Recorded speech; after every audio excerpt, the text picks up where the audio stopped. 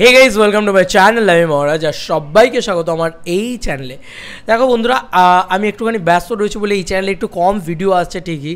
পুরীর ভ্লগও চলে আসবে এডিট করে উঠতে পারিনি। এখন আমার এই সমস্যাটাই হচ্ছে, যেহেতু এমনি ভ্লগ এই ভিডিওগুলো জাস্ট শ্যুট করি এডিট করে আপলোড করে দিই। মানে এডিট করি না আপলোড করে দিই। এবারে এখানে আবার এডিট এডিট করতে হয় তো একটু সময় লাগে। সেই কারণে আর কি জাস্ট কাটা জোড়া বাট তারপরেও আমার ল্যাদ লাগে আর কি। আমি তো জানোই, ল্যাদ খোর বাঙালি আমি। এবং তার সঙ্গে সঙ্গে একটা মানে আমার লাইফের একটা আপডেট হয়তো আসতে পারে। আমি মেন চ্যানেলও এটা নিয়ে কথা বলছি বাট এক্স্যাক্টলি প্রমিনেন্ট করছি না, এই চ্যানেলেও প্রমিনেন্ট করব না, যতক্ষণ না সেটা অ্যাচিভ করে উঠতে পারছি আর কি। যাই হোক, তো বিষয়টা হচ্ছে যে সিরাজ দোল্লা। এখন আমরা কথা বলব সিরাজদৌল্লা এবং জিদ্দাকে, বাদ দিয়ে সিরাজদৌল্লা জিদ্দাকে নিয়ে সিরাজদৌল্লা বা সিরাজদৌল্লা কেন হলো না? জিদ্দা কেন থাকলেন না সিরাজদৌল্লাতে এসবিএফ এর সিরাজদৌল্লার কথা বলছি, রাজ চক্রবর্তীর ডিরেকশনে সিরাজদৌল্লার কথা বলছি, কি হলো এই ছবিটার? বন্ধুরা, বাংলা যারা মুভি লোভার তারা জানে যে S V F twenty five ইয়ার্সে প্রচুর এমন ছবি রিলিজ মানে অ্যানাউন্সমেন্ট করেছিল যে ছবিগুলো কিন্তু আলটিমেটলি দিনের শেষে আসেনি। এ তার ভিতরে রয়েছে মূলত দুটো বড় ছবি। একটা হচ্ছে অ্যামাজন অ্যাডভেঞ্চার অ্যামাজন মানে অ্যামাজন অ্যাডভেঞ্চার মানে অ্যামাজন অভিযানের পরের পার্ট শঙ্করস নেক্সট অ্যাডভেঞ্চার এই ছবিটা কিন্তু এখন অবধি আসেনি, জানি না আর ফিউচারে কোনো দিন আসবে কি না ঠিক আছে?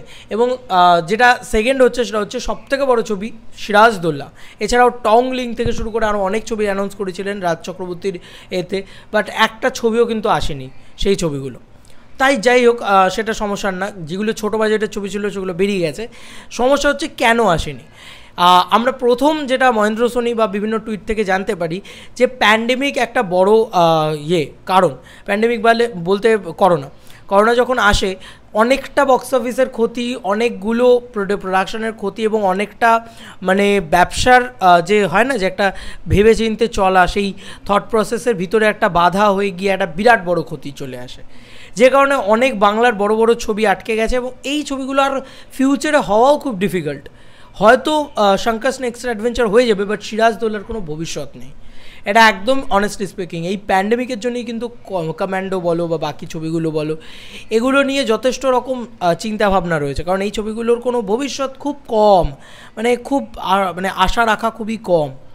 এবার বিষয় হচ্ছে, জিদ্দা কেন করলেন না সিরাজদৌল্লা? দেখো, বাংলায় সিরাজদৌল্লা যদি হয়, তাহলে সেটা জিদ্দা দেবদাকে নিয়ে করার মানে রাজ চক্রবর্তী বলেছিলেন যে দেব বা জিৎ দুজন কারুর কাছে যাবে, তখনকার সাক্ষাৎকার বা এ দেখে নিতে পারো। তো আমি এই নিউজ পোর্টালগুলো পড়ছিলাম, পড়ে পড়ে পড়ে পড়ে জানতে যেটা পারলাম, যে দেবদা মানে কম পারিশ্রমিকে কাজ করতে চাইছিলেন ঠিকই, কিন্তু রাজ চক্রবর্তীর কিন্তু মূলত পছন্দের ছিলেন জিদ্দা। কারণ জিদ্দার যে রূপ, জিদ্দার যে সৌন্দর্য, সেইটা কিন্তু দেবদার অ্যাজ সিরাজদৌল্লা আসতো না। আর সিরাজদৌল্লাকে একটুখানি বালকি নয়, একটুখানি রোগাশোকা দেখতে ছিল এবং সিরাজদৌল্লা কিন্তু এজের দিক দিয়ে যদি দেখতে হয়, তাহলে কিন্তু সিরাজদৌল্লার এজ উনিশ বছর ছিল। যে সময় কাল আমরা মানে ইতিহাস যা পড়েছি, সেক্ষেত্রে জিদ্দার কিন্তু সেই এজ নয়। এটাও সত্যি কথা যেরকম। সেটাও এর সঙ্গে সঙ্গে এটাও সত্যি কথা যে ওই সৌন্দর্য সিরাজদৌল্লা একজন মুসলিম নবাব ছিলেন, সেই নবাবের যে সৌন্দর্য, সেই বাংলার নবাবের সৌন্দর্য কিন্তু জিদ্দার ভিতরে রয়েছে।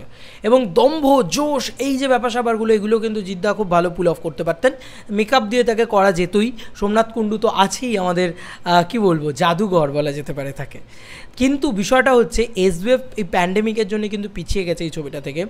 এবং বলে রাখি যে সেই সময়কালে জিদ্দার কাছে কিন্তু ছবিটা নিয়ে অ্যাপ্রোচ করা হয়। এবার জিদ্দা কিন্তু ছবিটা করতে রাজি হয়নি তখন। এটা বিভিন্ন নিউজ পোর্টাল বলো, এ বলো, যাই বলো, তুমি জানতে পারবে। জিদ্দা সেই ছবিটা করতে রাজি হয়নি। কেন রাজি হয়নি বলছি? কারণ পারিশ্রমিক। পারিশ্রমিক দিতে পারেনি এসবিএফ জিদ্দাকে। জিদ্দা যে পারিশ্রমিক চেয়েছেন, সেই পারিশ্রমিক এসবিএফ দিতে পারেনি। এবার আমি একটা কথা বলি, এখানে জিদ্দার কি কোনো অন্যায় আছে? একদমই নেই। কারণ জিদ্দা নিজের প্রোডাকশন হাউস মোর সাকসেসফুল মানে বাজির মতন যদি ফ্লপ ছবিও হয়, তাও জিদ্দা যে কালেকশনটা বা যে ব্যবসাটা জিদ্দা আনতে পারে, বা যে পয়সাটা জিদ্দা লগ্নি করতে পারে, সেটা স্যাটেলাইট বলো ওটিটি বলো, সমস্ত রাইট টাইট বিক্রি করে সেটা একটা ছবি করে সে নেবে, স্বাভাবিক বিষয়।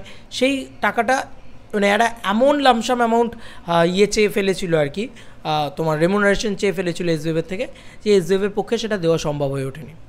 বা তখন সেই ছবিটা ইয়ে করে মানে তখনও সেই রেমুনারেশনটা দেওয়া সম্ভব হয়ে ওঠেনি। এবং এই ছবিটার নাকি বাজেট এত বেড়ে যাচ্ছিল, কারণ বাংলার নবাব, পলাশির যুদ্ধ বিরাট ব্যাপার স্যাপার দেখানোর ব্যাপার ছিল, এবং এই ছবিটা বিরাট বাজেটের ছবি হতো। তো অলরেডি পনেরো থেকে বিশ কোটি টাকা এই ছবির বাজেট নির্ধারিত হয়েছিল, যেটা মানে অসম্ভব ছিল বাংলা মার্কেটে এবং এই কারণে কিন্তু ছবিটা প্রায় শেলফ এবং ছবিটা শেলফই হয়ে যায় বলা যেতে পারে। তবে যদি ছবিটা হতো, তাহলে আমি এতটুকু বলতে পারি বাংলা অডিয়েন্স একটা বিরাট কিছু ম্যাসিভ ব্লকবাস্টার মানে ম্যাসিভ স্কেল দেখতে পেতো এবং অবশ্যই রাজ চক্রবর্তীর হাতে মানে ছবির ভিতরে ইমোশন ছবির ভিতরে সমস্ত কিছু খুব ভালো থাকতো। কিন্তু আনফর্চুনেটলি এই ছবিটা আমার মনে হয় জীবনে কোনো দিন হবে না এবং জিৎ এসবিএফ কোলাবোরেশন আর কোনো দিন আমার মনে হয় হবে না। এবার দেখার বিষয় কি হয় না হয়, তবে জিদ্দা কিন্তু রেমুনারেশনের জন্য করতে না। একদমই এটার ভিতরে কোনো খারাপ নেই, কোনো এ নেই। তবে হ্যাঁ পরবর্তীকালে যদি কোনো দিন এরকম ম্যাসিভ বড় কোনো ছবি জিদ্দার কাছে আসে, তাহলে আমার মনে হয় যে সব কিছু ভুলে একবার করা উচিত। কারণ জিদ্দার মানে নিজের কেরিয়ারেও একটা বিরাট বড় ছবি থেকে যাবে তাহলে, আমার মনে হয়। তোমাদের আর কি মতামত এই এন্টায়ার বিষয়টাকে নিয়ে, এই সিরাজদুল্লাহকে নিয়ে, এই আলোচনাটাকে নিয়ে এবং এই সিরাজদুল্লাহ না আসাটাকে নিয়ে অবশ্যই নিচে কমেন্ট সেকশনে জানিও। চলো বন্ধুরা, আমার নতুন কোনো ভিডিওতে দেখা হবে। বাবাই আর আমি এই ভিডিওতে যতটুকু আমি জানতাম এবং যতটুকু নিউজ পোর্টাল বিভিন্ন জায়গায় যা যা যা বেরিয়েছিল, সেগুলো থেকে যা জানতাম, সেগুলোই তোমাদের সাথে শেয়ার করলাম। বাবাই